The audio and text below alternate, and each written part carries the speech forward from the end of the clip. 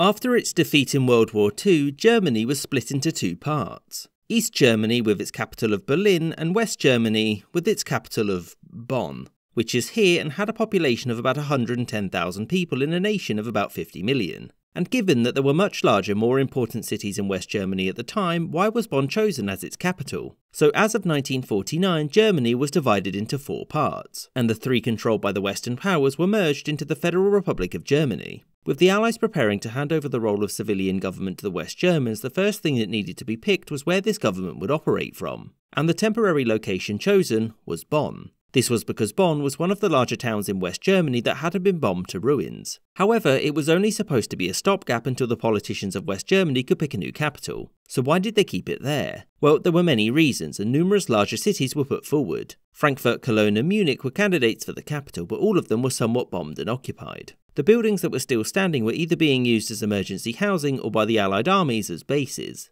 As such, the West German government would need to spend considerable sums of money to build a new parliament, as well as the massive infrastructure needed to support it. Money which many at the time felt that the government didn't have. Furthermore, German Chancellor Konrad Adenauer and his opponent Kurt Schumacher didn't want the West German capital to be somewhere with lots of foreign troops around. Schumacher soon found himself a little bit dead, and his successors pushed for Frankfurt because of its central location. They weren't in power though, so it wasn't up to them and largely fell to Adenauer and his party to decide. Adenauer didn't want the Federal Republic's new capital to be a major city because he felt that such a move would look permanent, and thus it would appear to be a concession that Germany would remain divided forever. Another concern was that the new capital couldn't be anywhere with a strong association with the previous regime. With this in mind, Adenauer needed to find a small town without Allied troops with no connection to the war that was large enough to house a parliament, which didn't leave much. The French refused to withdraw from any town in their former occupation zone since they saw it as a sign of weakness, whereas the Americans preferred that the new government would be seated in a larger city, but they also refused to remove their soldiers from there.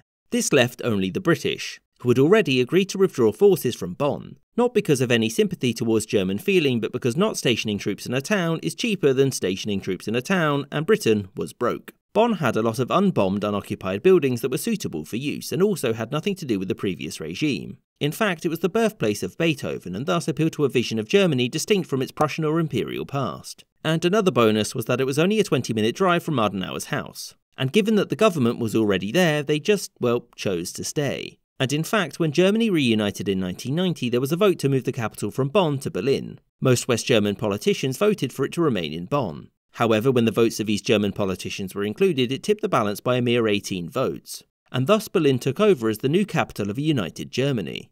I hope you enjoyed this episode with a special thanks to my patrons James Bizanet, Kelly Moneymaker, Korsho Wolf, Sky Chappelle, Kartoitska, Adam Stalter, Alex Schwinn, Jerry Lambdin, Marcus Arsner, Rod D. Martin, AF Firefly, Yn Hockey, Captain Psydog, Boogly Woogly, Marvin Cassow, Winston Kaywood, Kamoon Yoon, Miss Izette, Maggie Patskowski, Gustav Swan, The McWhopper, Anthony Beckett, Copper Tone, Shewenin, Spinning Three Plates, Words About Books podcast, Jim Strumberg, Spencer Lightfoot, and Charles the First.